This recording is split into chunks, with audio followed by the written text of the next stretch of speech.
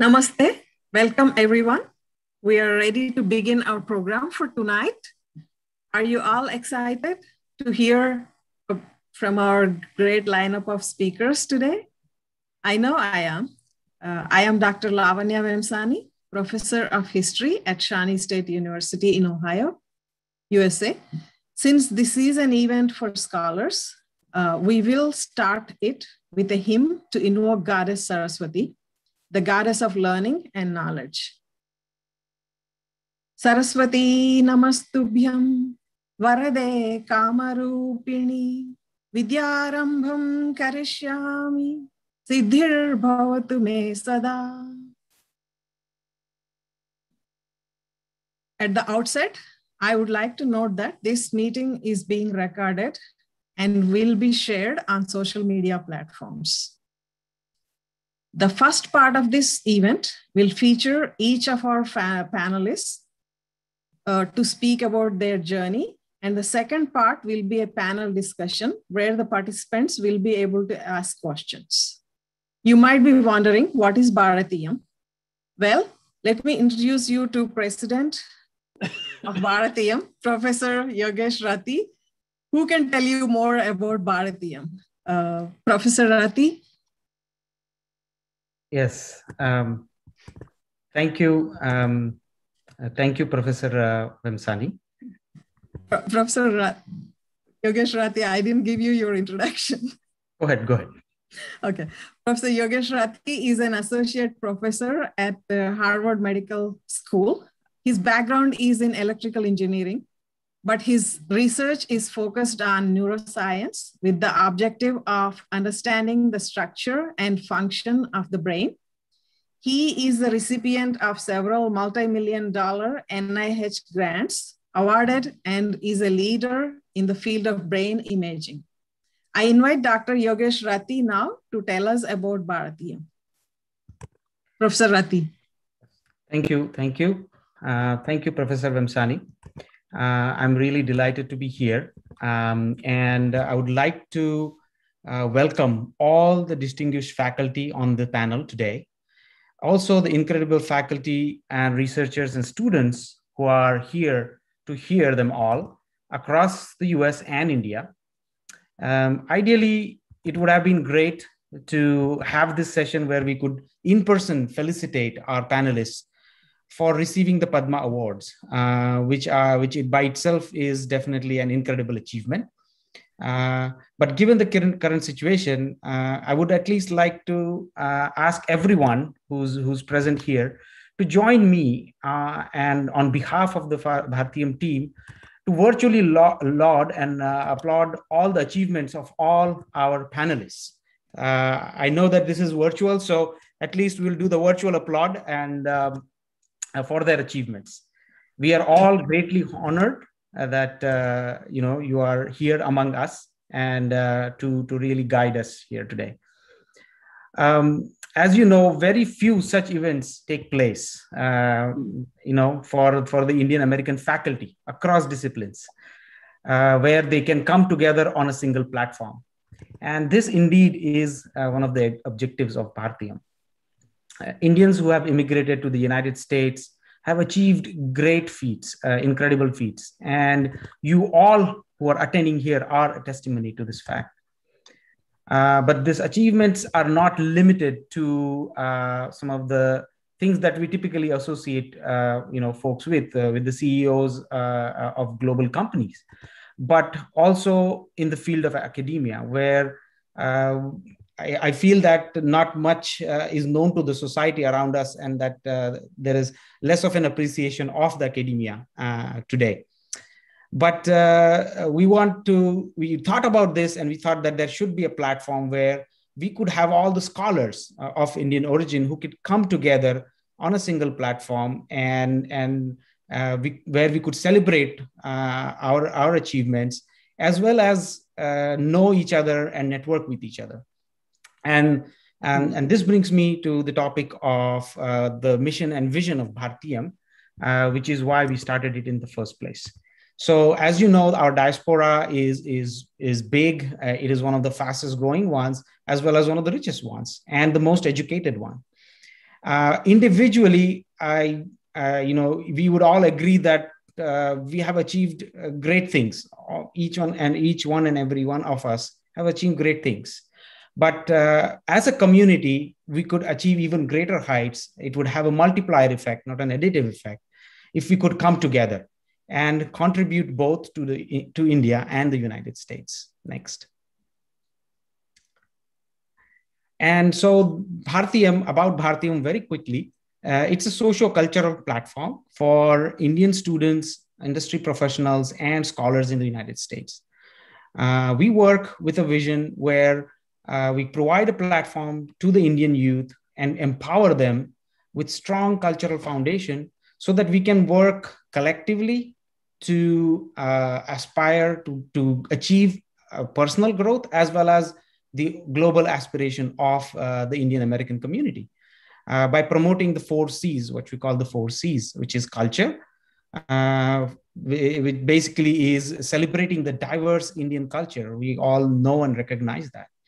And career provide a networking opportunity as well as mentorship to, uh, to, to all the students for career growth. Uh, contribute to the progress of united states and the us which is country and the community connect with the local community groups and and help them in whichever way possible so these are the four c's that drive Bharatiyam. next and these this is a very small sampling of the activities that Bharatiyam does uh, we do scholar we have uh, three councils scholars students and professional councils and uh, as you can see, the Scholars Council, this is one of the type of programs we organize. We hope to organize many such programs in the future too, where we connect faculty uh, from all different areas and, and scholars as well. The Students Council is also very multidimensional with uh, activities like Awaz to share, uh, which is a forum to share and discuss ideas among students. Geek Talk, uh, as well as to connect, uh, the aim is to connect with Indian student organizations across the different universities. And then there is the professional council, which really focuses on events related to young professionals. And next. Uh, so I would say that uh, anyone who's uh, really interested, uh, please, you know, have time, please do send us an email, drop us a line and to volunteer at Bharatiyam. And with that, I will hand over uh, the podium to Professor Vemsani for, for the next part. Thank you, Dr. Rathi, for that introduction to Bharatiyam. I will now move on to introducing our panelists and hearing about their journey and how the Indian value system has helped them to get where they are today. Uh, our first speaker is Professor Nanda. Uh, Professor Ved Nanda is the John Evans Distinguished University Professor and the Thompson G. Marsh Professor of Law at the University of Denver Law Center and Director of Ved Nanda Law Center. He has been recognized across the world and has won numerous awards, including the Padma Bhushan from the Government of India. Professor Nanda's work in the classroom as well as international justice has earned him a number of followers, including Condoleezza Rice former Secretary of State. It would fill a book if I just list his awards and accomplishments in international law. I would now like to invite Professor Nanda to share his thoughts with us about how the Indian value system has helped him reach such great heights. Professor Nanda? Professor Nanda, I invite you to speak. Yeah, we need to unmute. Thank you very much, Professor Vemsani, Professor Rathi, for arranging this program. And uh, before we began here, I had the privilege of um, seeing and talking with the, the awardees.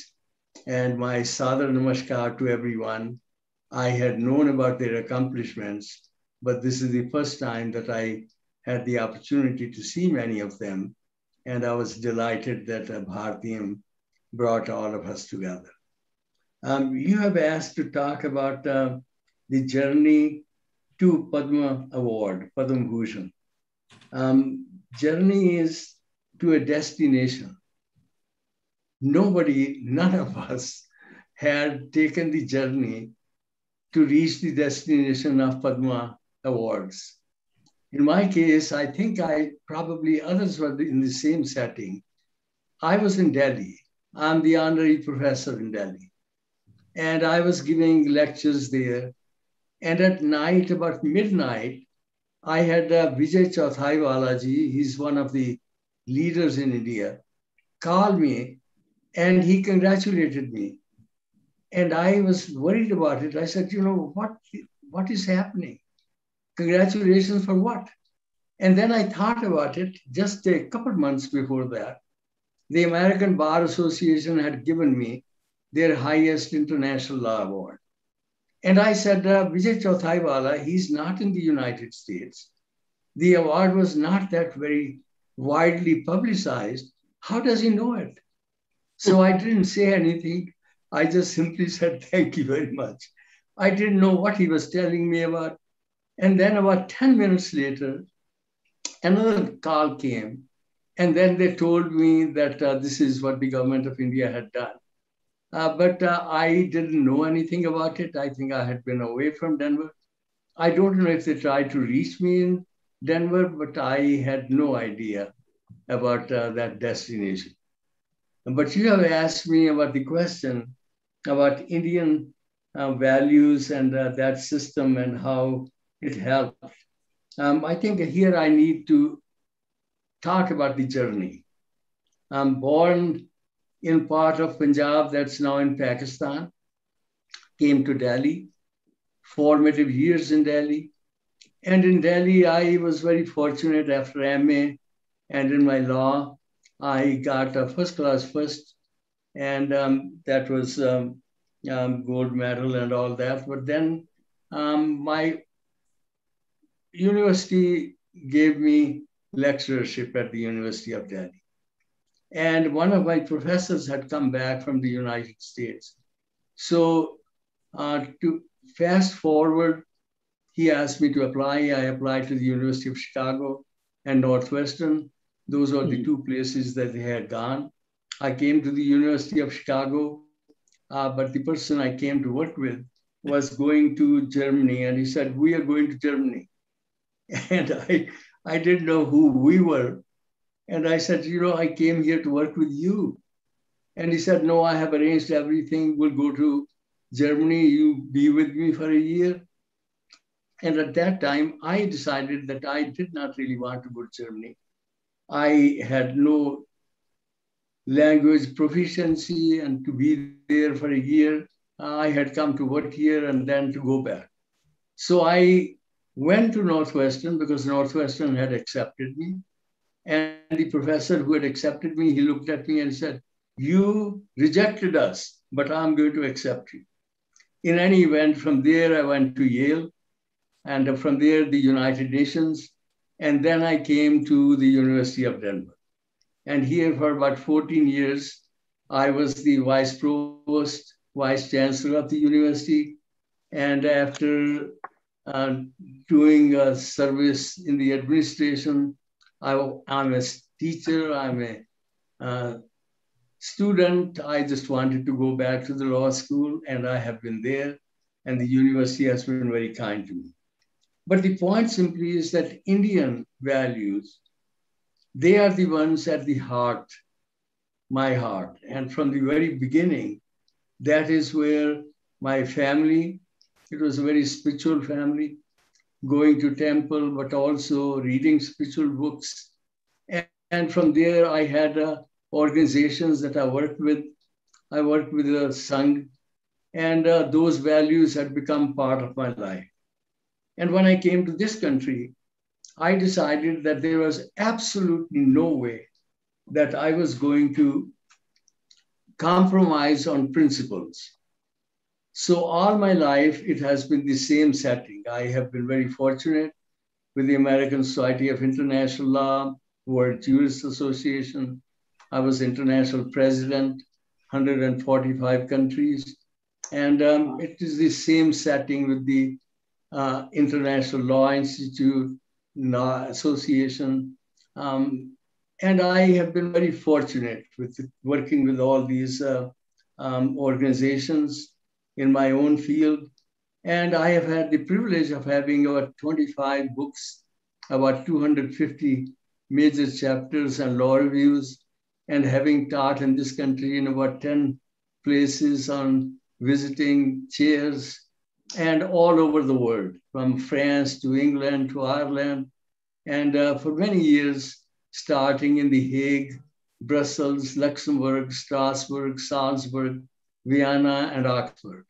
So have had wonderful time, but Indian lifestyle, Indian values, they have been part of me. And now I am uh, um, board of trustees of a university here. And uh, in my university, I was on the board of trustees as a faculty member. And at my university in 160 years, the very first time they have given to a faculty member their right. award, the Founders Award. And uh, I have been privileged to have that. So I'm delighted that you had all, brought all of us together. So not the found this uh, a destination, but that has been a journey. And thank you very much. Thank you, Professor Nanda. That was an amazing and inspiring journey. We look forward to hearing more from you about um, your experiences and uh, achievements uh, during the panel discussion. Let's now introduce you to our next speaker, Professor Rattan Lal. Professor Rattan Lal uh, is Distinguished University Professor of Soil Science and Director of Carbon Management and Sequestration Center at Ohio State University. He has appointments in universities across the globe, from USA to Costa Rica to Nigeria to India. He is hmm. truly a global leader. Professor Lal works at the Center for Climate Change and Conservation Science, the two aspects that define our life in the 21st century. Professor Lal has dedicated his life to the service of our Mother Earth, the Bhudevi. He has received numerous awards, and it will take me another half hour to just enumerate his awards list. However, I would just mention that he received Padma Shri in 2021.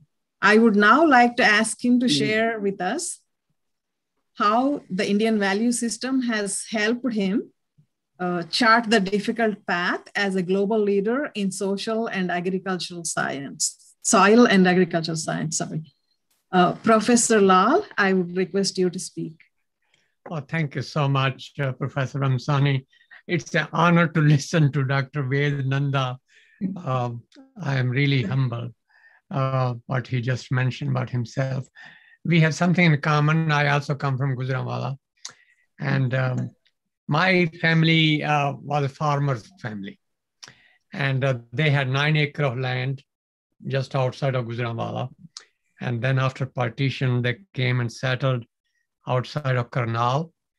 And I was told um, that uh, my father uh, met with Patwaris and other, and they said your land in Gujranwala was very poor quality. Land we are giving you here is very good quality. Therefore, you get only one and a half acre. So I grew up on that one and a half acre, and he used to rent uh, another three, four, five acres of land. So I have seen uh, the circumstances of how the smallholder people are and how they live. Uh, I graduated from uh, the school in the village, which was a primary school when I joined. Unfortunately, it became middle school and high school. And we were three brothers and sister, and I was the only one who went to school. The others were older than me when the partition happened, and they kind of got lost, uh, did not get a chance to study. And uh, when I graduated, uh, my bhuva, my father's sister, used to live in Ludhiana. So she asked me to come here and we will help you look for a job. And uh, our neighbor was a, a PN to the principal of the Government Agriculture College at Ludhiana. and he told me that uh, I don't know whether you can find a job or not, but you should come and see this college because it is being developed by Ohio State University. So I went to that uh, place and I saw the principal. I saw a few American professor. I told him I want to join this college. So I filled in the application form, and to my bad luck, I was rejected. I was rejected because uh, I don't think they thought that I was dressed properly to be a college student. I had jutti and I had bodhi and I had uh, hairs and pantadar pajama and uh, everything. And um, I was told you're not admitted. So somehow the same PN, he talked to the principal and principal said, you have to really go to the Minister of Agriculture because the all seats are filled. And eventually, to cut story short, I did meet the Minister of Agriculture. His name was Gyani Kartar Singh Ji. And uh, he told me Pratap Singh has to give the permission because all seats are full. So, and I told him I, you know, best in my school village. And uh, so eventually I got admission about two months after the classes began. And I was told by Gyani Kartar Singh and uh, Sardar Pratap Singh that if you are as good as you think you are, then uh, at the prize distribution, we will be there. And of course, I was so fortunate that I had prizes in every subject. And uh, the reason for pricing was not that I was so worried about being first. Uh, it was two reasons. One was 12 rupees a scholarship was given if you can get a certificate you are a refugee. Another was that mm. 8 rupee would be given if you are in the top five students and I had to have that 20 rupees, and I got it. And uh, that was the start of the journey. And uh, then in my last year, everybody was studying genetics and plant breeding and so forth because Dr. Swaminathan at that time was big thing, and uh, everybody wanted to study. So a professor from Ohio State who had just come back after PhD, his name was Devraj Bumbla. He was originally from Lyallpur Agriculture College and now at Ludhiana, and he called me and he said, "Look, uh, don't go to botany and genetics. Study soil science." And I said, "Why should I study soil science?" He said, "Because I think I can send you to Ohio State." And he was true to his words. I was the first student in the university in the agriculture college, and he sent me to Ohio State. I came here, finished PhD, and uh, rest is really something very uh, lucky, fortunate. Last year, 2019, I was the one who received the Japan prize, $500,000. And I had a dinner with the Emperor and Empress of Japan, my wife and myself. And I was thinking a journey from a village farm, one and a half acre, to a dinner with the Emperor of Japan. It had to be some good karma, nothing else. and um, then over the last two years, I should tell you this, that this village boy got World Agriculture Prize, World Soil Prize, World Food Prize, Japan Prize, Arrell Food Prize, all of them $920,000. And wow. I have given every penny to the Ohio State University. The idea is that they will make it uh, Rattan Lal Endowed Professorship if it becomes a million dollar. So I'm thinking of putting 100,000 from my own pocket because I don't think any more award is left that I would get. So uh, I don't want to miss that opportunity. As far as the value is concerned, I have told everywhere I have gone, including to the Emperor of Japan, the following thing Kshati Jal Pavak Gagan Samira. Panch Tattva Adam Sharira. Kshati is soil, Jal Pavak Gagan Samira. And I have also mentioned Gurbani, that's my language. Pawan Guru, Pani Pita, Mata Dharta Mahat. No country, we have Air Quality Act, we have Water Quality Act, EPA, we do not have a Soil Quality Act. Our Gurbani linked all those three. And my last word I have always told everybody, and that is Vasudhaiva Kutumbakam. World is one family. Surely, if we treat everybody like our parents and cousins and sisters and brothers and uncles and aunts, and we share their burdens and joy, the world will be a very pleasant place. It's a pleasure and an honor to be Indian. Thank you for inviting me. Professor Lal, thank you so much. That is indeed an inspiration. Thank you for your wise words. Thank you. And we'll move uh, to our next speaker now, uh, Professor Jagdish Sheth.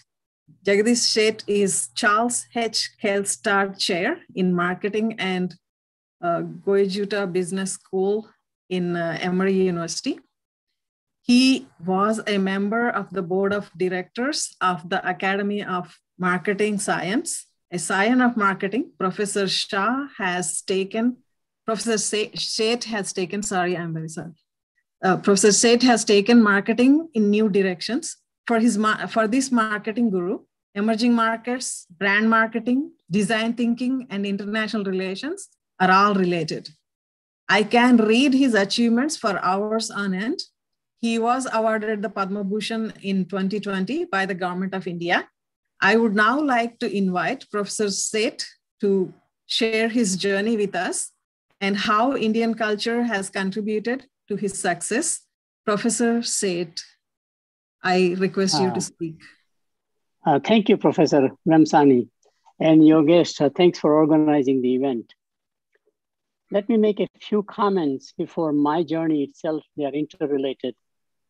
I think the purpose of a nation is to unlock the potential of its people.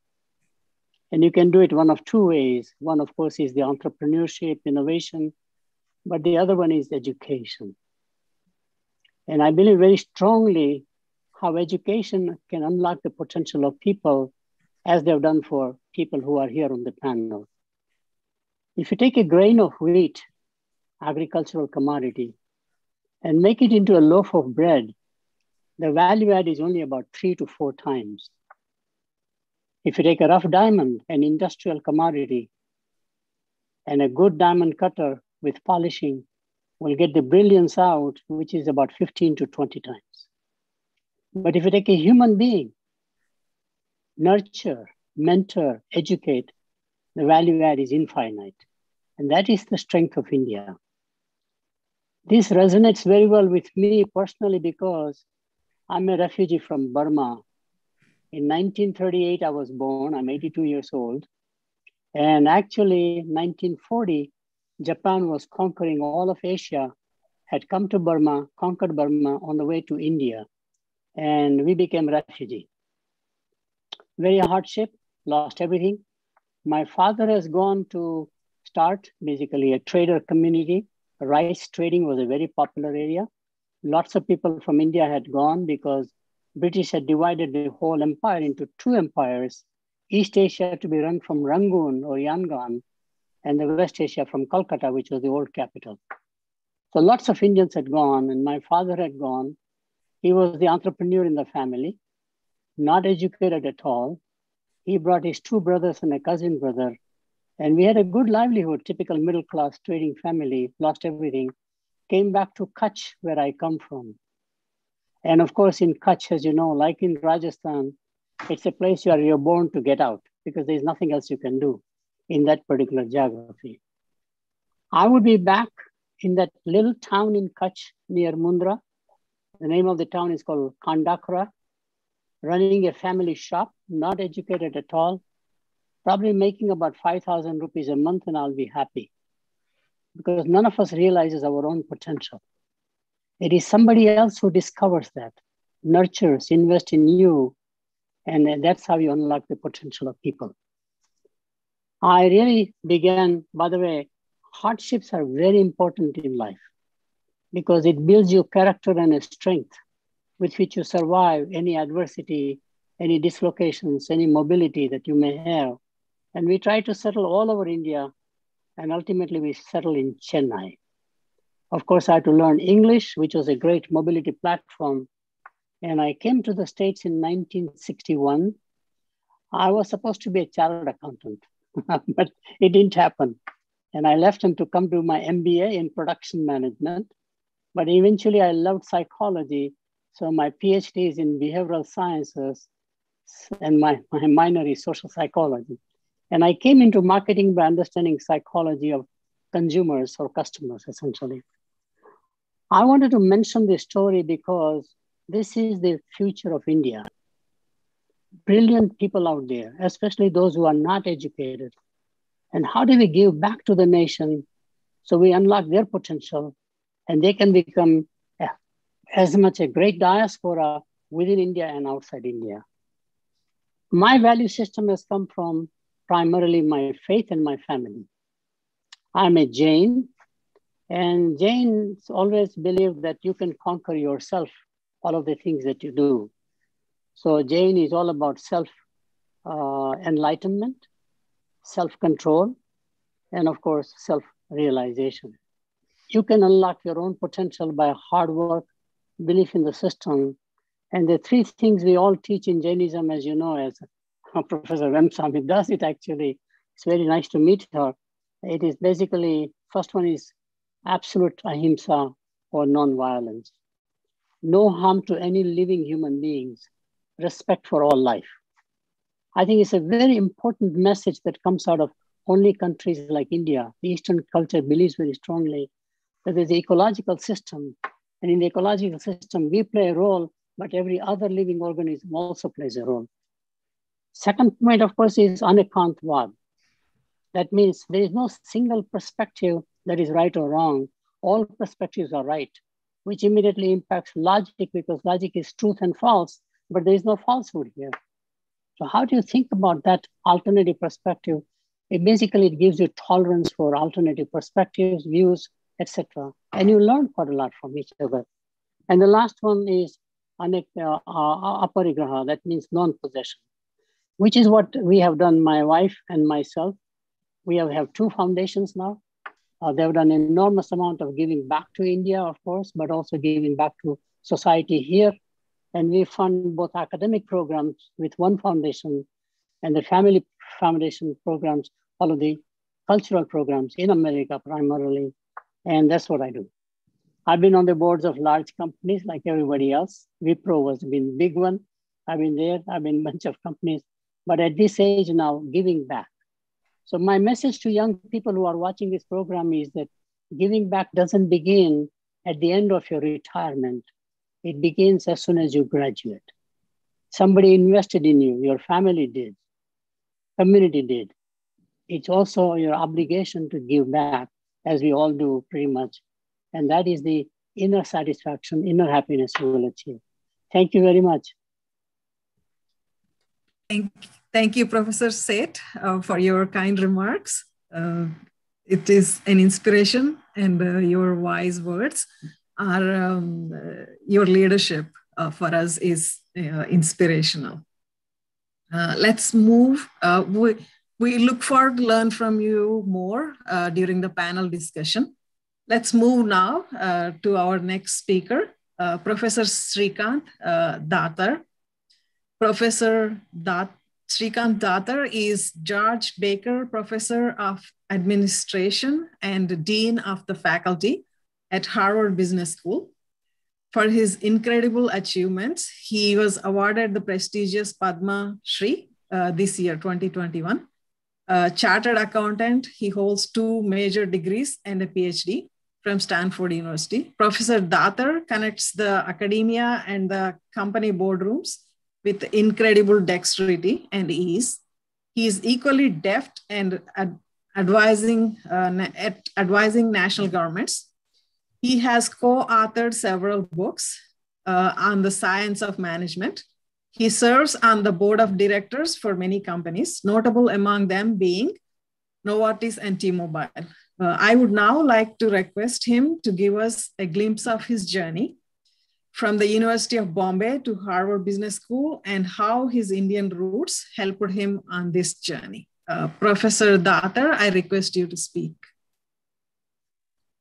Thank you very much. And uh, let me start by saying what an honor it is to receive the Padma Award and uh, how humbling it is to be on this fantastic uh, panel with my uh, fellow awardees. Uh, thank you, Professor Rathi and Professor Vemsani, for organizing this event and for selecting an important topic uh, for us to discuss and share our thoughts later in this program the role of the Indian value system in my career has manifested itself in several ways, I would say.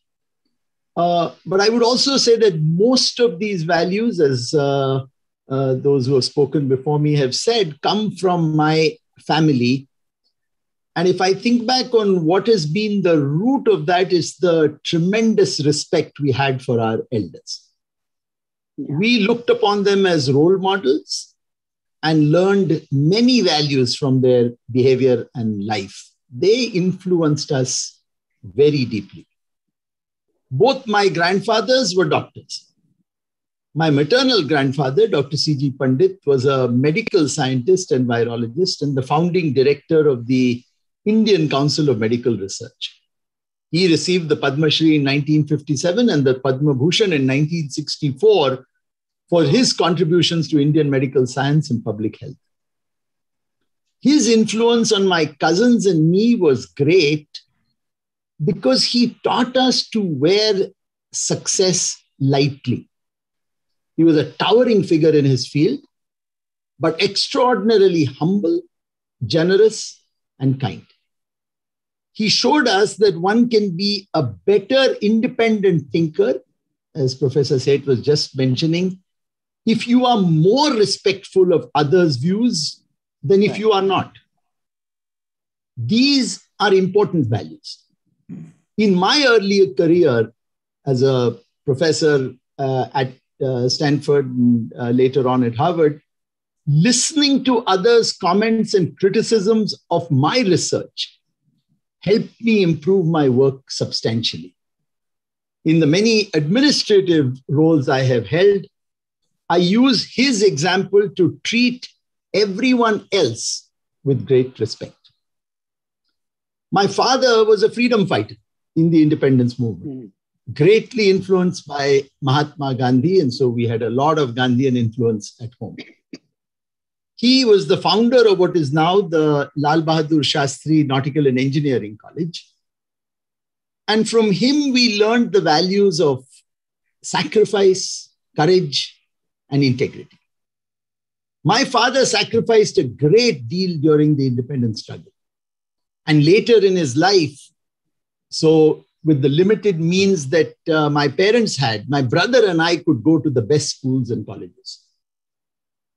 And the value he instilled was to always think of causes, institutions, and family as more important than one's own success. From his teachings, I have always strived to put the institutions I have served first, whether, whether it is the universities where I have worked or the companies on whose boards I have served. I also saw the great respect he enjoyed from his students. As a student, I've always had great reverence for my fantastic teachers in school and college in the spirit of Guru Shishya Parampara uh, old Indian tradition. As a faculty member, I take great pride in my students' achievements. They're like family. Their success gives me tremendous joy. My mother was a magazine editor and social worker, and she taught us empathy to yeah. think of others less fortunate than ourselves and that a life well lived is measured not by what one does for oneself, but what one does for others. She believed in unity in diversity. And as Professor Rattan Lal said, Vasudhaiva Kutumbakam, or the whole world is a family, particularly those who she could help and serve. To her, in the words of Rabindranath Tagore, service was joy. This influenced how I taught I care deeply about my students' learning, particularly those who find the materials I teach difficult to understand. We learned very early about Atithi Devo Bhava, or guest is God. My brother and I remember numerous occasions when we would give up our bedrooms so guests could be more comfortable. Family and guests would come to our house unannounced and it was very clear that we had to move from our room, even if we had an important exam the next day. In my own work, I try to meet with colleagues, staff, students, and visitors, even when they come to see me unannounced. My father was spiritual. He would teach us to do our dharma and not look for rewards because that was not in our hands. This provided a strong foundation of duty and responsibility. We did what we were expected to do, not only the things we loved to do. At that time, I know we would always, uh, uh, you know, rebel against it. But uh, I now know many years later how valuable it was that there were certain expectations that you had to fulfill. As I look back, these values shaped my career based on the choices I made, the decisions I took, and how I interacted with others. Thank you very much for giving me the opportunity to be part of this event. I look forward to our discussion to come. Thank, thank you, Professor Datar. What a splendid way to describe the path you have taken. Uh, true inspiration. Uh, I'm sure our audience will have plenty of questions for you uh, during the panel discussion. So thank you, and let's move to the next speaker. Our next speaker is SP, uh, Professor SP Kothari. Professor SP Kothari uh, is the global Gordon Y. Uh, Billard uh, Professor of Accounting and Finance and the former Deputy Dean uh, at the Sloan School of Management at MIT. He was the Chief Economist and Director of the Division of Economic and Risk Analysis at the US Securities and Exchange Commission. One can know his professional acumen and academic excellence from his amazing work uh, at the global as the global head of equity research at Barclays Global Investors and as the head of the Department of Economics, Finance, and Accounting at MIT. He is an expert on economic policy issues on India. He has received many awards, including the Padma Shri. I would now like to ask Professor Kothari to share his incredible journey from BITS Pilani to MIT. Uh, Professor Kothari, I invite you to speak. Thank you. it's, it's truly a tough act to follow uh, this pantheon of speakers that have preceded me. Uh, it's, uh, it's inspiring, uh, it's humbling to listen to them, and also uh, humbling to see how much they have achieved. So I wish I'd gone first.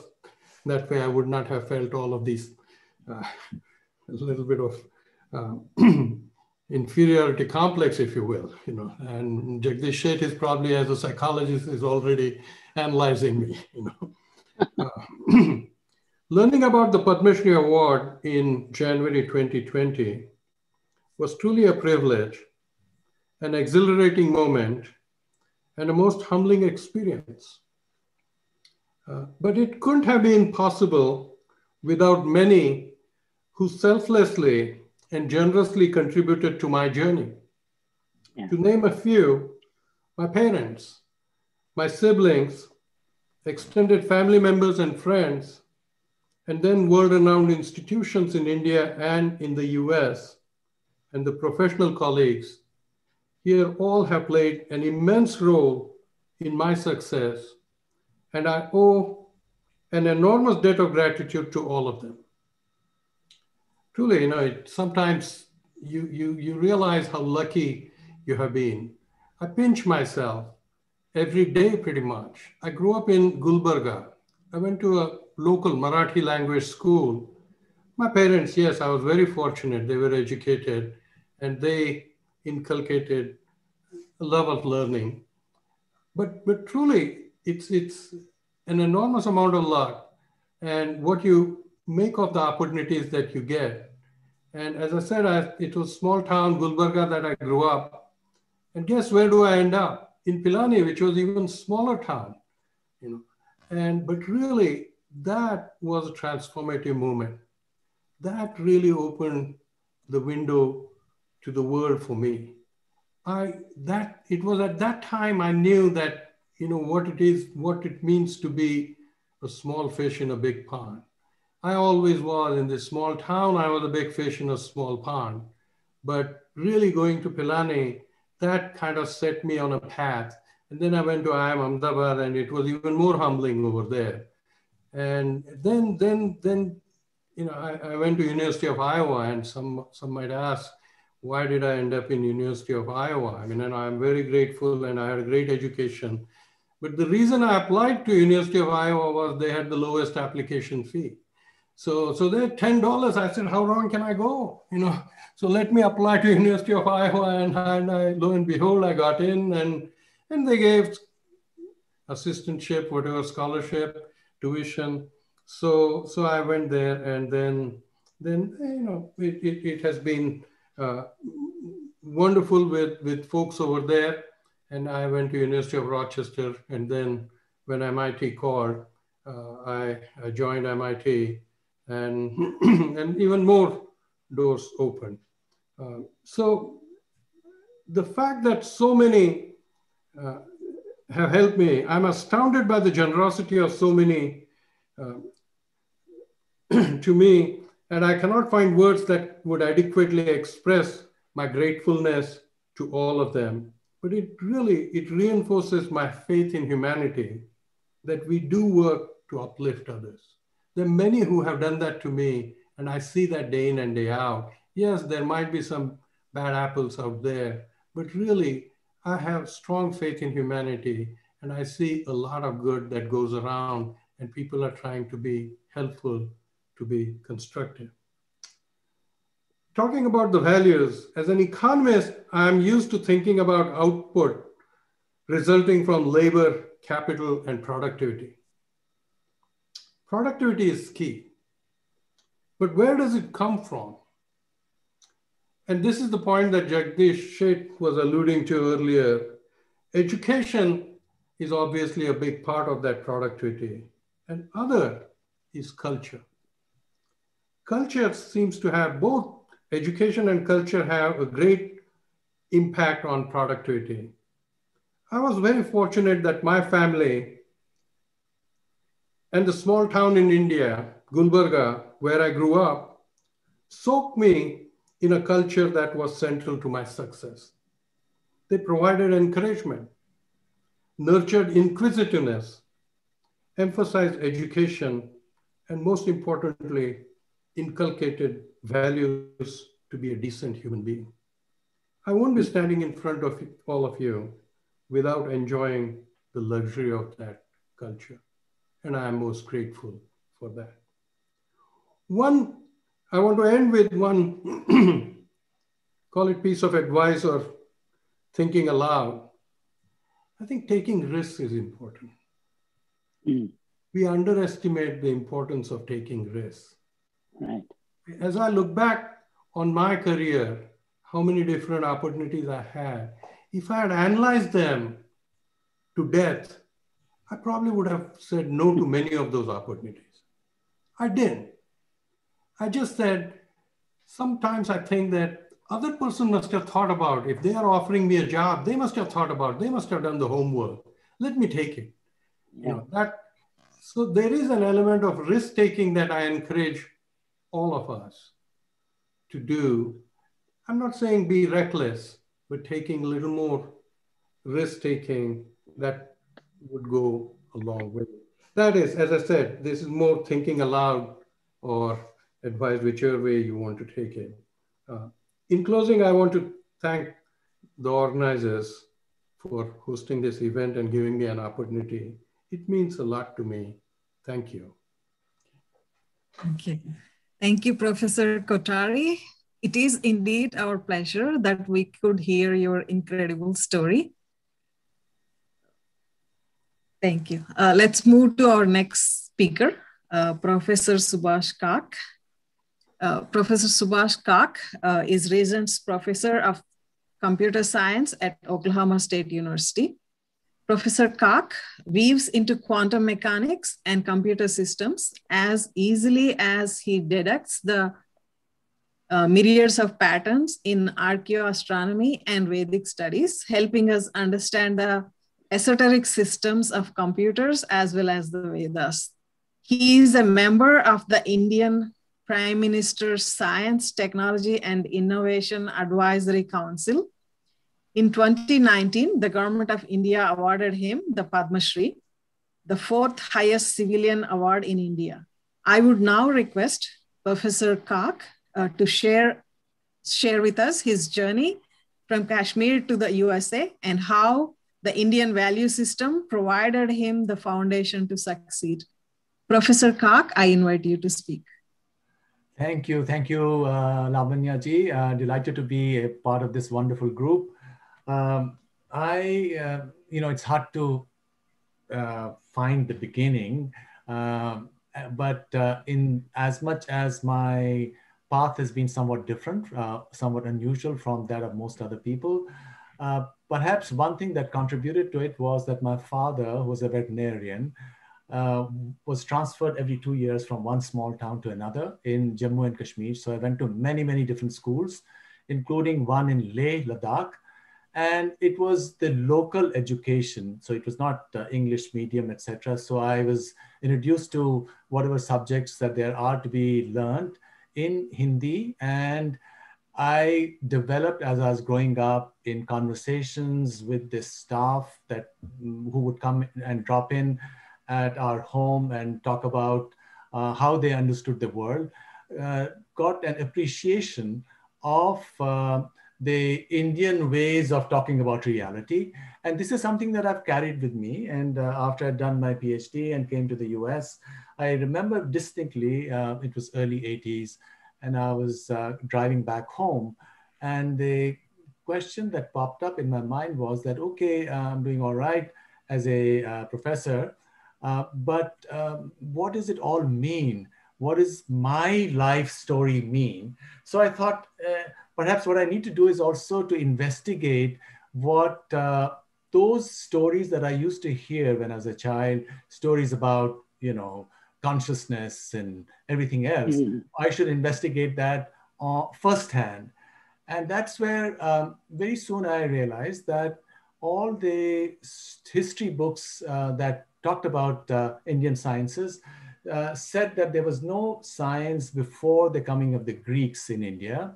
And even Ashtadhyayi of Panini, mm. about 500 BCE, uh, which uh, created a 4,000 rule grammar for Sanskrit, which has not yet been equal, which uh, scholars have called one of the most stupendous achievements of the human mind. He was, uh, according to historians, he didn't have any writing at that time and there was no science. So I thought that it didn't really make any sense. So I investigated different layers of Indian literature, uh, going all the way back from the Siddhantas to the Sutras to the Brahmanas to the Vedas, etc., over a period of years. And I discovered in astronomy and a lot of other stuff on which I was to publish, you know, hundreds of articles and many books. And uh, what uh, it has given me an appreciation of was that, first of all, Indian knowledge is a universal knowledge because the very heart of it is what is consciousness. And that's also yeah. the very heart of modern science. The frontier of computer science or physics or neurosciences. is what is this phenomenon called consciousness. And this is really what was also the heart of ancient Indian science. Uh, in fact, uh, one of the Upanishads, uh, Mundak Upanishad says that there are two kinds of knowledge, apara and para. Apara are the sciences which can be written up in language, and para is the science of, uh, of consciousness, of uh, the subjectivity that is associated with awareness. So all of this, I think, has uh, you know made it a fantastic adventure for me because I've been sort of doing both things at the same time, you know, immersing myself in uh, either modern physics or quantum mechanics, because that also brings up the problem of the observer or the conscious uh, individual, mm. as well mm. as ancient Indian science. And uh, so it's been a great thing. So I believe it's this universality that I encountered very early on um, uh, about, uh, uh, about Indian knowledge you know, from the stories of the Chaprasis and everybody else, you know, grandmothers or aunts and uncles, um, which I wanted to question on my own, which I think has been a source of great strength to me. And I, as a, as a uh, recipe, if you will, of use to the general society, I think what we need to do uh, back in India is to step away from the colonial uh, approach to India, which is what we have adopted, and which I think has hurt us. Uh, for example, just to give you one uh, uh instance, uh, back in India, we insist that a person should learn English before they can learn computer science or before they can learn programming.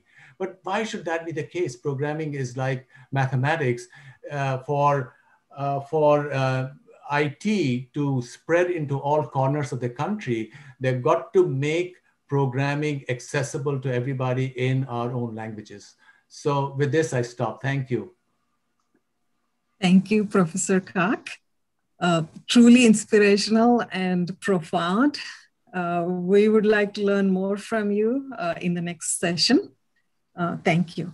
Um, we will now move on to the next part of our session. Um, but before we move on, I would like to recognize a few of uh, the incredible scholars present among us here. Uh, unfortunately, I cannot recognize the achievements of each one of you individually, but I will just mention a few names here. Uh, present among us are uh, Professor uh, Vikas Sukhatme, uh, Dean of Emory University School of Medicine, Dr. Chintan Vaishnav, um, MIT uh, and mission director for Atal Innovation Mission at Niti Aayog, uh, and Professor uh, Paranjape, uh, Indian uh, All India Institute of Advanced Studies, Shimla. Mm. I would like to inform uh, everyone and thank you very much. we are moving now to the second session. I would like to inform everyone that unfortunately, Professor K uh, Vijay Raghavan uh, will not be joining us today oh. as he had to attend emergency meetings uh, in the India uh, related to recent COVID uh, surge in India. Uh, we, however, have an equally illustrious scholar among us, Professor Narendra Ahuja from the University of Illinois, Urbana-Champaign. he was instrumental in setting up the Indian Institute of information technology in Hyderabad. He is a world leader in the field of computer vision and artificial intelligence. He has co-authored numerous books uh, and his award list can run into several pages. He's also on the board of directors of several institutions in India. Given his expertise in both American and Indian institutions, uh, I would like to request uh, Professor Ahuja to join our panel and answer questions related to institution building in America. Uh, mm. Because our topic is related to uh, Indian institutions um, and academia. So we will now uh, open the floor for panel discussion. The topic is academic institutions for a new India, role of Indian American academics. For, for the participants, Please send your questions to Bharatiyam questions in the chat box and we will call out your name and you can ask your questions to the panelists. Please keep your questions very brief and to the point. While you are thinking about the questions, here uh, we have few questions uh, that came in with the registrations. Uh, I will start asking these questions while uh, you are discussing your question, you're thinking your questions and uh, posting them. Yeah. The first question is for uh, Professor Subhash Kak.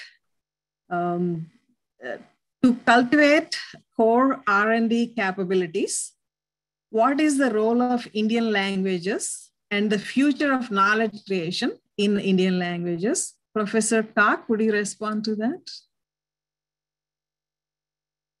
Oh, absolutely. Uh, I, I, think uh, we really need to uh, make a turn as far as uh, policy back in India is concerned, where uh, we have prevented large uh, segments of the population, you know, maybe 90%, maybe 5 to 10% are very fluent with English. And so they, they get into um, all these subjects as well as rest of the people in the Anglophone world. But what about the rest of them? What about people in small villages and towns? And, and I, I, and I see that there's at least one entrepreneur in India, uh, Sridhar Vembu of Zoho Corporation. What he has done as head of a multinational company in Chennai. He's first of all, he took his headquarters to a small village and he's telling mm. people that you don't have to have a computer science degree to do programming or to do work for us. Uh, because after all, what is uh, programming? It is knowing procedures, etc., and you can learn it uh, on your own, and of course with effort. And um, amongst people, he's had a postman, for example, join as a programmer. So I think we need to do some hard thinking and open up all of this uh, knowledge creation to people in all languages. Now, the reason why it may not have been done before was because we were afraid that if we didn't have something connecting us, namely English, uh, perhaps uh, you know the country would fall apart or break up or something. But I think we need to have faith in ourselves, I, and I think it, this doesn't mean that English should not be emphasized. Let us em emphasize English, but let not English be the uh, compulsory vehicle for learning of sciences. Learn English as well, but learn sciences in our own languages, excepting for those who are good at English and let them learn it, learn the sciences in English. But for everybody else, let's open it up. And I think that will make a great change. Thank you, Professor Kak. Um, we have one more question for uh, Professor Ahuja. Uh, what could be a plan to improve the quality of PhD research at universities in India? Professor Ahuja, would you like to respond?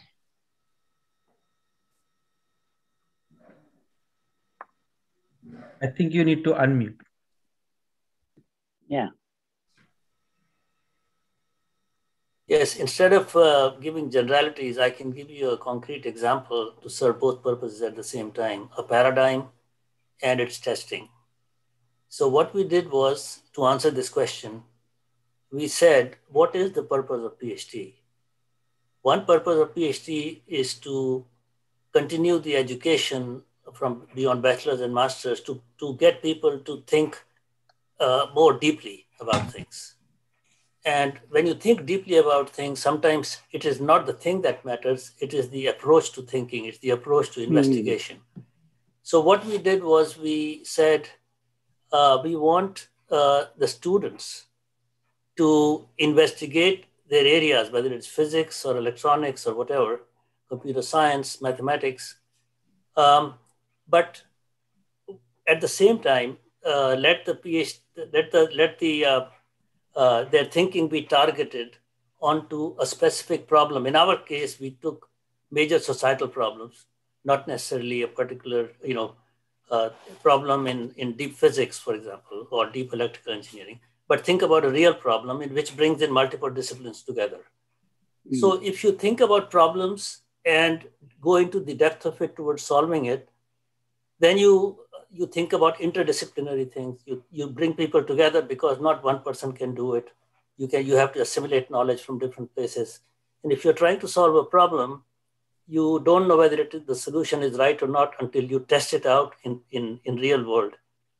And one way of testing is to make it to see if this is really bought by the users, whether it really works. So if it works, then people adopt it, then it becomes an actual public activity. It could be commercial activity. So what we did was we took the research and the classroom knowledge and combination of it into solutions to real problems.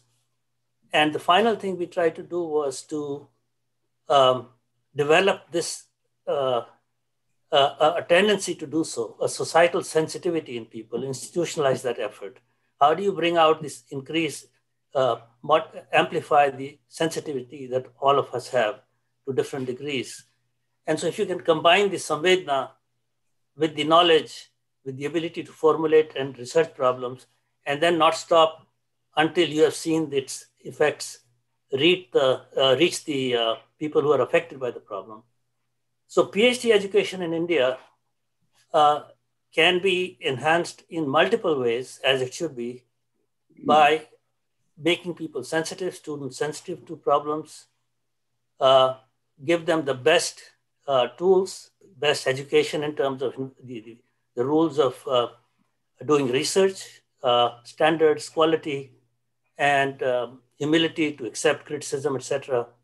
And then treat the classroom knowledge as a source of ideas that can then be focused onto the research problems, but all of them in the context of a bigger purpose, which all of the panelists have been saying, the Vasudhaiva Kutumbakam or, or being part of society one with it.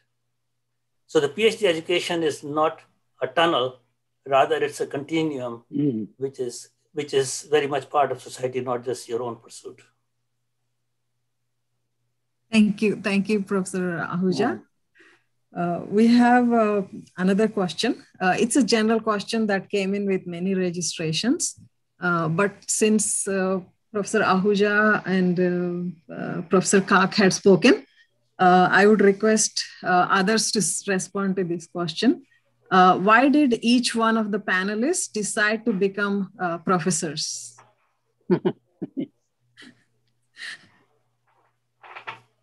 I can begin. oh, go ahead. Uh, in my case, it was accidental, clearly. Um, I always was curious about what motivates people.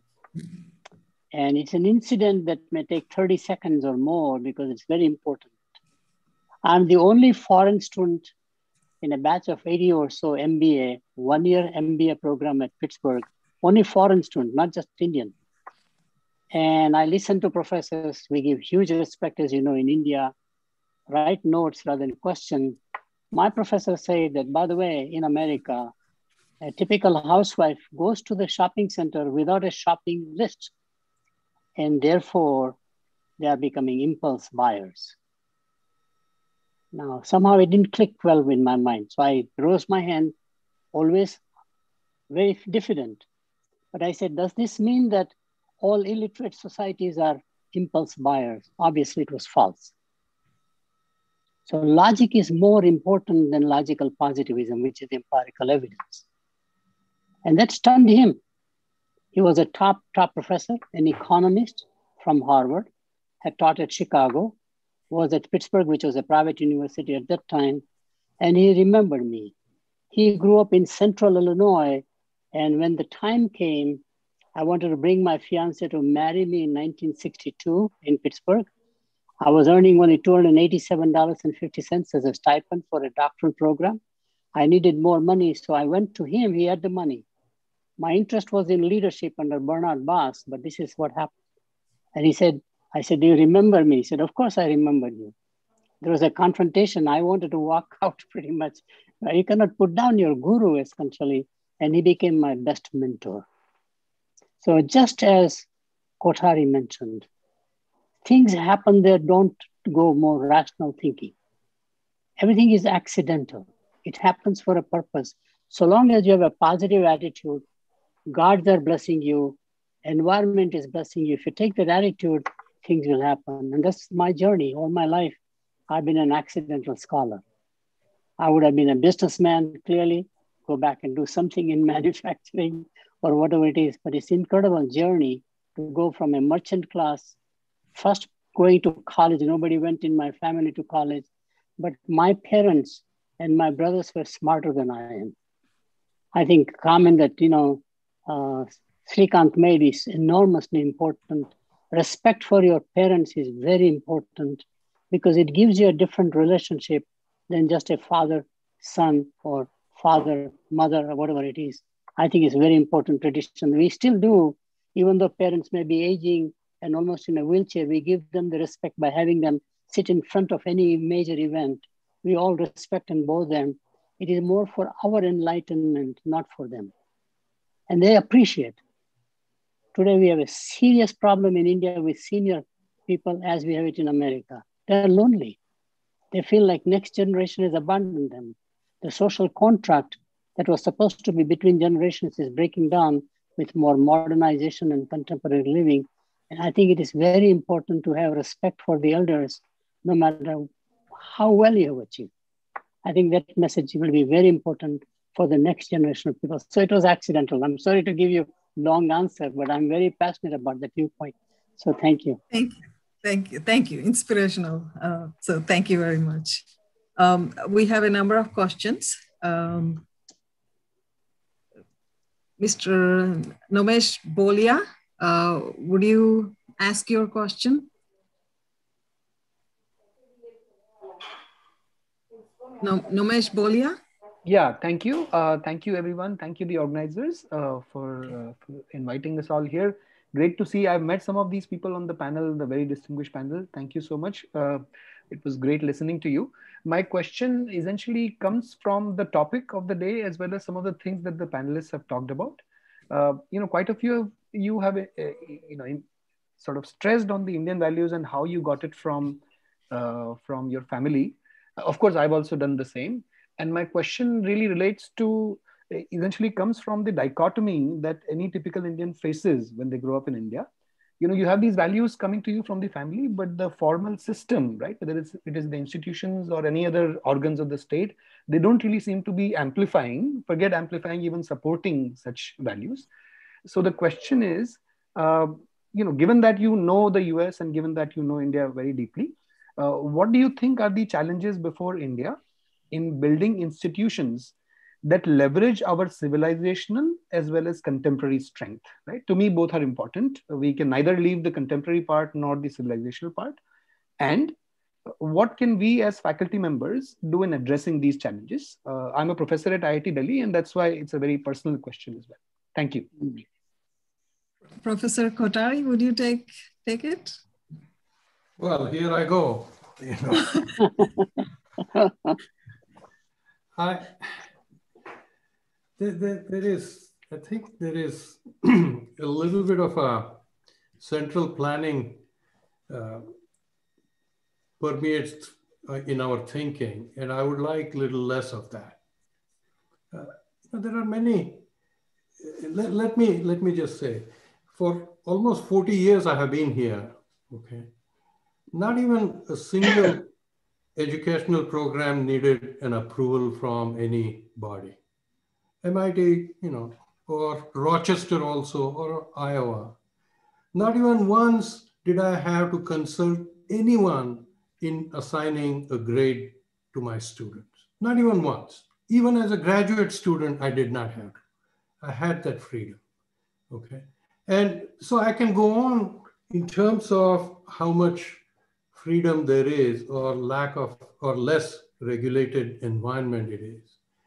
And I think for in India, the institutions to blossom, I think they, they have to they have to have more freedom and they have to have an incentive to build reputation.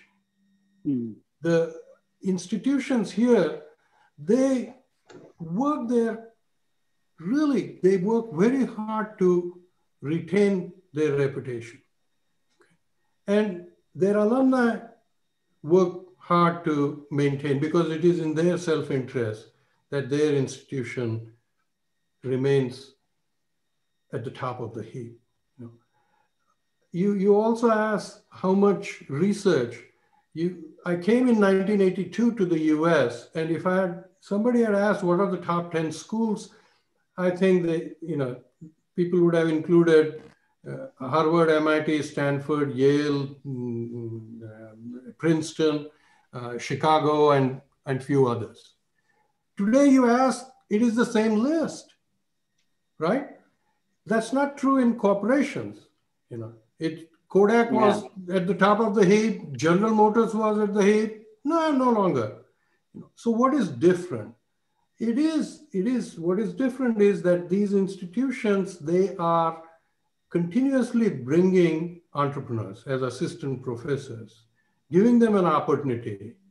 And you succeed, they give them some resources, you succeed, well and good. If not, well, too bad, it didn't work out, and say goodbye. But that way, they, they have been. And so there is a lot to learn from many of these experiences. And I think India has enormous number of institutions. India has many talented folks. What is, we, we talk about PhD, I, I, to be honest, I don't think there are resources to have a lot of PhDs.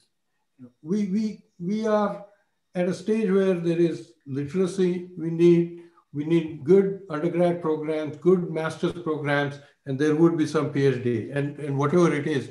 But it is a resource intensive kind of uh, business. So I would give a lot more freedom and hold them, you know, if, if, if there is, with freedom, you also have to have better enforcement. But those two are needed for Indian education to blossom. Uh, they will find their ways. Uh, right now, so many of the MBA programs, they knock on the doors of Western institutions, have collaboration. They're doing it on their own, right? They're doing it on their own, and that will continue. So the incentive to excel is innate and it is everywhere here. And that, that will take place. What is holding back a lot of Indian system is there's enormous, just in ridiculous amount of regulation. And mm. so that's why you know you are going to regret asking me to answer, but as I said, here I go. So thank you. Thank you, Professor Kothari. Yeah, let uh, me just add one. Let me just add one point to. The, the next uh, question is for you, actually. Okay, I'll I'll I'll, I'll just add, add this and take. Add uh, it. Uh, yeah, I, because I agree completely with uh, what uh, SP is saying, and the part that the that you were asking about the tradition versus the modernization. This idea that you know you want to have the freedom of thought, and that you want to challenge uh, established orthodoxy and uh, you want to uh, uh, you know think in a very different way than what might have uh, might have been uh, the traditions there that balance i think uh, here is a little more towards uh, uh, you know moving towards the newer kind of thinking entrepreneurs as sp was saying um, so it's it's not only the the freedom and from the the regulation it's this how do you make sure that you encourage a lot of freedom of thought? So that I think is a very rel- related point to SP. So the next question uh, is uh, from Pramod Varshni, uh, also related to education and research. Uh, so Pramod Varshni, would you ask your question, please? And uh, Professor Datar would uh, respond to your question. Pramod Varshni? Yes, I'm coming. Yeah, no, thanks for taking the question. And it's a distinguished panel, and I know a few of the folks on the panel. Uh, I guess uh, what I have noticed is that at many of the top institutions, what the people do is incremental work. And I think Professor Ahuja talked about it like new way of thinking. So how can we move away from incremental work to fundamental and innovative work? that was my question, and uh, some of it has been discussed already. So let me just, uh, uh I think it's an important uh, uh, question, and I think it goes to a little bit of what uh, I think SP and I were responding earlier, because this is what we try to seek. I think, you know, it's often the case that when you go into uh, uh, you know, fairly what we might call dominant domains, you tend to truncate the extremes. You tend to, uh, you know, the, whether it is the way the research progresses or uh, once it's a dominant design, you uh, you uh, keep truncating the extremes. So I think the trick in trying to do this much more innovative work is two things. One is how do you uh, encourage someone to challenge the paradigms because that's, uh, I think, critical. And then it has to be accompanied, even here, by resources that you uh, you you put behind it. So. Uh, I will give you an example of uh, one of my colleagues, uh, Michael Porter, when he challenged the way in which strategy was being taught, and he came up with a very different way of thinking about uh, strategy. The then Dean John McArthur provided so much. So that was one. So you could he was encouraged to challenge it, but then provided resources to uh, an individual who was willing to uh, challenge it. So you almost have to place these kinds of bets, if you will, as an institution, so that you're not continually truncating. You're trying to put resources where you think there might be some potential and a way to uh, uh, spark uh, a different and a new kind of thinking. So I think it requires both those uh, skills. One is to actively encourage it inside the institution, and the second is to provide support. And you will get a lot of resistance to providing the support because people would prefer it to be distributed in a particular way. You're placing these bets, you may get it wrong. I think uh, SP was talking earlier about the idea of taking risk. And if you don't take that risk, you'll never get the outcomes that you are uh, describing. Uh, I would like to add. Thank you. Yeah, I'd like to add to that. Uh, you know, uh, the kind of uh, decisions that were taken in India in the 1990s uh, about information technology was to become the back office to the rest of the world. And that was done because uh, Indians were uh, somehow following the old paradigm established by the British when they established Fort St. George, East India Company. Indians are in the back room doing ledgers and the Britishers are taking decisions. So this is what we decided. Why? Because we lack Atmavishwas, we lack self-confidence. The Chinese or the Japanese, using common sense, they said, we want to develop our own products. We want to develop our own IT products or every other products. And which is what, of course, has become a big uh, problem for the West. And I think what Indians, and this is not only at the national level, this also happens at the individual level. Before 47, when people were more connected to the tradition, we have giants of world science from India who came up from nowhere, you know, working in small closets like J.C. Bose or C.V. Raman and many others. But since then, great work, but not work of the same high quality.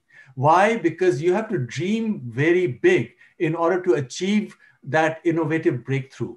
And we stopped dreaming. We were only trying to catch up, you know, uh, the socialism era. We want to catch up. We want to be um, self-sufficient but you really want to be the best in the whole world. That's the only way to go to do innovative work, both at the personal level and at the larger level. Let me Thank add you. something. Thank you, uh, Professor. Yes, go ahead, uh, uh, yeah. Professor Said. I think I think Pramod, one of the things you may think about doing with or without institutional support, true scholars are always what I call deep generalists. They're very specialized, very narrow, and more and more with doctoral education, we make them super nano nano specialist and publish papers. But at the same time, you have to be broad based, your knowledge. Because the best way you can grow a great breakthrough innovation is connecting the dots across disciplines that people never thought about it. Suddenly gets an aha. So I encourage my doctoral students, I encourage postdocs that I have to say, how to become a deep generalist. It's a personal journey, intentionally going out of your way from your field of specialization to study everything else. There's so vast knowledge. So if you are in one discipline, can you just think about knowing? And we have a Wikipedia today. We have all kinds of possibilities. The whole world of knowledge comes to your desktop now, more so than ever before. I think that is where the knowledge really comes. It's a discontinuous function. Suddenly you think in a way in a way that you had never thought before because you connect dots nobody else connected. You get an aha and the world gets an aha.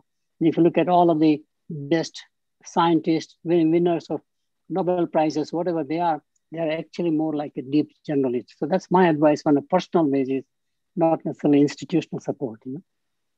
Professor Vemsani, I, Thank I you also, very much. Okay. Can I add one some, something that is yes, yes, particularly please. Yes, please. Go ahead. Go yeah. ahead. Yeah. So, in addition to what uh, Professor Sheth just said, uh, you know, I think innovation can be divided into at least two categories. One is there are people who can sit in their room and study books and realize that what's commonplace knowledge in one discipline is the biggest problem in the other, and vice Yeah. versa. So sometimes trivialities of one area, common knowledge, people won't even look at, give it another look, can Yeah. create revolutions in the other field. Now, these things can happen because some people want to, you know, can look at these, study them in privacy. But I think more practical, especially from Indian perspective, is that we have so many problems. Okay, and problems are created by by forces that are beyond us, but those problems are by demand, by necessity, require innovation. Otherwise, they won't exist. If there were trivial solutions, there won't be problems anymore. So you need innovation there. So if you connect, you know, like Pramod was saying, if you somehow uh, relate people's uh, uh, basic needs, basic quest to solving problems, either they'll fail and would have learned something from it, or they would succeed and would definitely learn from them. And whatever they learn has to be innovative, simply because problems are not trivial. So, you know, one way of achieving innovation, bottom up, you know, not from people who are born mm. to do that, uh, let them go and develop solutions, and society will tell them it worked or not. But either way, they would have learned. Perhaps their next attempt will be better. So try to solve problems which are naturally interdisciplinary and have them properly tested. And, and, and that's, that's definitely a way to innovate. Japanese, Chinese, same story. Thank you. Thank you so much. Um, the next question, I think, is for uh, Professor Nandaji. Um, he has been a mentor to many of us. Uh, this question is about um, early career faculty. So, uh, Prakash Jha, uh, would you ask your question? Namaste, everyone. Uh, I am blessed to listen such an illustrious, illustrious panel. Uh, thank you, Bharatiyam team, for organizing such a wonderful event. My question is, uh, what is a line of advice for early career faculties who are in dilemma or dichotomy whether to go back to India or how to stay here? I think uh, this country needs you. And uh, to be staying here and working um, is no impediment. I think there are plenty of wonderful people in India. And uh, here, I think the more uh, you look at the challenges, the more people like you can uh, make their own contribution. Uh, Saniji, I didn't really want to say anything because I want to hear my colleagues, but uh, yes. I know that the time is running out. So I would probably say two things. One is that when you talk about younger people, what really assists them is your own example.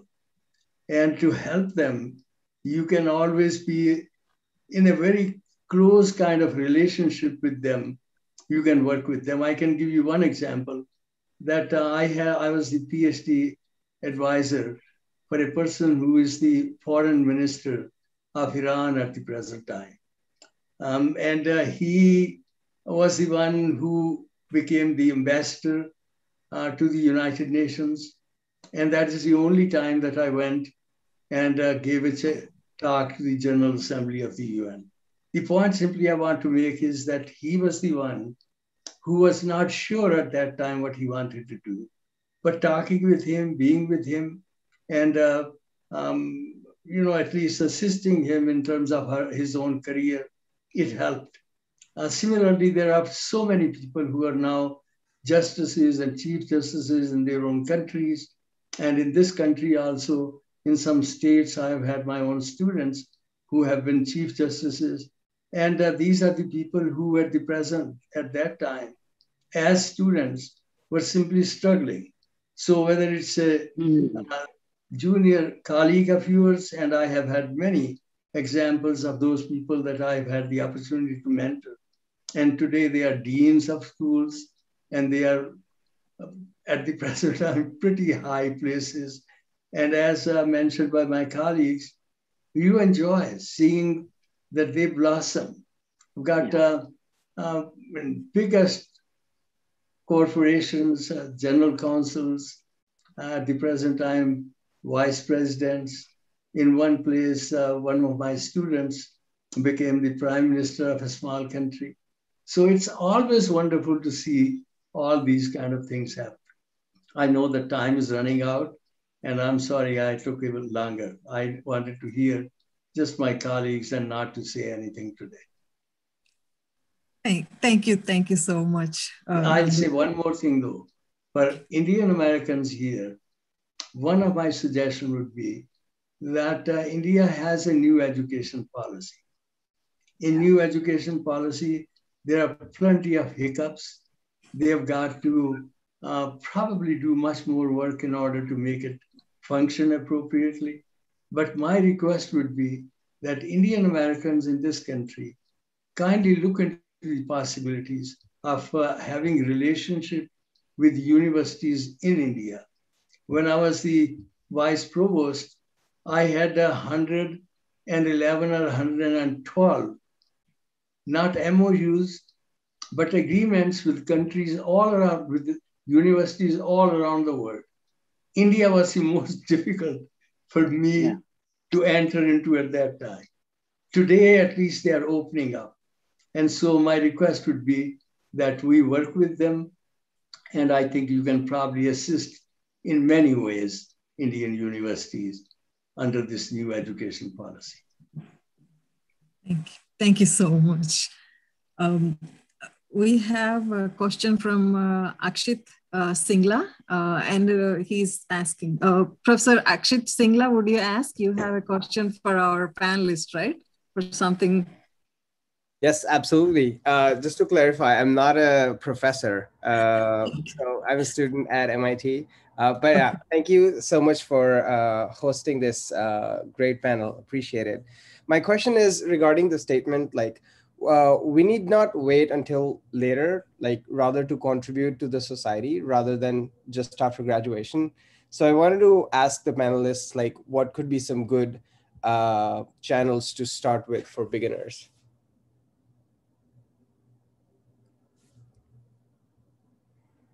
You're saying channels for you to contribute Create to others? Is that what it is, or is it, you know? channel to start contributing to the society and create impact. You you you my have advice, said you're not going to like my advice. Yeah. I think I think at this stage you ought to do really well in whatever field you are in. And that will give you an opportunity and platform to help many others. No, nobody would have paid attention to me if I had done in my early days I had not excelled. I would not be here. Jagdish Sheth, I mean, we read his Howard Sheth model in my MBA. Okay. Ask him what did he do? He worked hard to excel. Shrikant Datar, I have known, you know, for ages. And so the best thing you can do right now is to really do well and give some feedback to your colleagues and others as on a day-to-day basis. But if you say that I'm going to be helping the world today, you, your, your contribution is going to be rather limited. Lavanya ji, just 10 o'clock. So, yes, uh, this is the last question. Uh, so we are uh, wrapping up for today. Um, so thank you uh, very much for all your presentations. Oh, uh, Professor Makarand Paranjape uh, had his hand up, just, so uh, please. Thank you. Thank you, Lavanya I'll just take 30 please. seconds. It's been yeah, very inspiring. Please. I had to get up pretty early on a Sunday morning to listen to yeah. all I know, I understand. And uh, I think your journeys are really, really inspiring. Many of you are associated with the University of Illinois, where I did my master's and doctorate. But uh, I want to end on a slightly, uh, should I say, uh, negative note, though the negativity comes from a very positive uh, intention to help India. Actually, we are going through a tremendous governance crisis in this country when it comes to higher education. There is both overregulation, as we've heard earlier from Professor SP and others, and there is absolutely no regulation in other uh, areas where privatization, uh, you know, without accountability, all over fake degrees, uh, you know, uh, predatory journals. So my point is, my real point is that in India, we must change uh, the culture, uh, you know, of, you know, of how our institutions are run, because the paradox of India is we have a tremendous competence deficit where leadership is concerned, which is combined with a competence phobia it's wonderful to parachute in experts from outside. If you come and live here as I have, as soon as I finish my PhD, I rush back to India. You know, I know the system inside out. I'm afraid we need root and branch reform. It's not enough to table new policies and try to manage narratives. I think that uh, our institutions are going through a tremendous crisis. And, uh, you know, uh, I, I, think that all of you are very influential people. We should have further conversations. And uh, there are many things that need to be reformed if excellence has to be foregrounded in India. I'm not even going to talk about statutory uh, reservations, quotas, and so on and so forth. But the, but the rot has seeped very deep into the system, you know? So we need political will, we need bureaucratic intent, and plus a change of culture. Thank you. That's what I want to say. Thank you for your Thank time. you. Thank you, Professor Pranj. Congratulations to all the awardees. They are my own uh, models in many respects. So thank you. Thank you. Thank you. Thank you, Professor Paranjape. Uh, with that, uh, we can wrap up, but I would uh, request uh, Professor Rathi uh, to give the concluding remarks. Professor Rathi. Well, thank you. Um, thank you, Professor Vemsani. I would, uh, I think the, the number of questions we got, I am absolutely sure that we could continue through the entire night and into tomorrow morning as far the Eastern time zone is concerned. But uh, obviously i think this is not something to be done in a day. So I, am I'm, I'm uh, you know we're thinking that we definitely need many more such sessions where we could uh, think much more deeper and interact and figure out what really could be done so first of all i would uh, really like to express my deep gratitude to each one of our panelists professor kothari professor nanda professor kak professor datar professor lal professor sheth and professor ahuja thank you so much. Uh, I really appreciate uh, you all taking the time and coming to this program and sharing your thoughts with us. Uh, we definitely look forward to many more such events uh, where we'd like to invite you and, and uh, pick your brains and learn from your experiences. I would also like to thank each and every one of the attendees who have joined us in this session and really made it uh, a very interactive and a wonderful session. Uh, we will be reaching out to each one of you, and I assure you that uh, in the future we will be uh, having many more such programs where all your questions could be potentially answered, uh, especially uh, the younger audience among us. Uh, and last but not the least, I would like to thank um, the Bharatiyam team that has worked very hard to, to make this program a success. I, and I would like to, you know, uh, also thank Professor uh, Vemsani and also Professor Sunil Kumar, yeah. uh, who made you know help us uh, you know move this program uh, to where it is today. Thank you very much, and uh, good night to all.